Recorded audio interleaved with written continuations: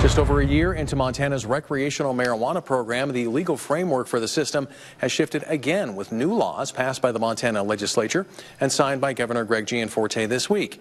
MTN's senior political reporter Jonathan Ambarian breaks down some of the biggest changes for dispensaries.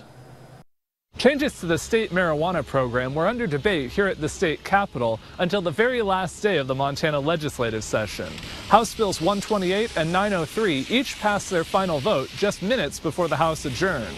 The two bills each made a wide range of changes to Montana's marijuana laws, and in one key case, a change required both of them to become law. The new laws extend the state's moratorium on new recreational marijuana sellers for two years through the summer of 2025. They also significantly increase the licensing fee for providers that operate multiple dispensaries $5,000 for the first, $10,000 for the second, and $5,000 more for each additional one. The changes also loosen some of the restrictions on marijuana licenses that were guaranteed to Montana tribes. Coordinating language tying the two bills together also allows several providers who had been medical only to enter the recreational market. Cotty Fulton, the co-owner of Armadillo Buds in Glendive, led a campaign to allow adult use sales in Dawson County. But after the successful election, she found she was still only allowed to make medical sales because she got her license a few weeks after the state legalization vote in 2020. She says as people shifted from the medical system to the recreational system, her business was left relying on seven patients to keep going.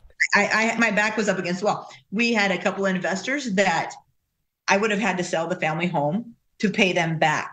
But when Gianforte signed the two bills, that meant medical providers that started before April 2021 could start recreational sales. Armadillo Buds had its first official day of adult use sales on Tuesday. We had three recreational sales, and it was just probably the most beautiful thing I've seen in a long time. House Bill 903 also requires that the state perform a review on any doctor who approves more than 39 patients for a medical marijuana card in a single year.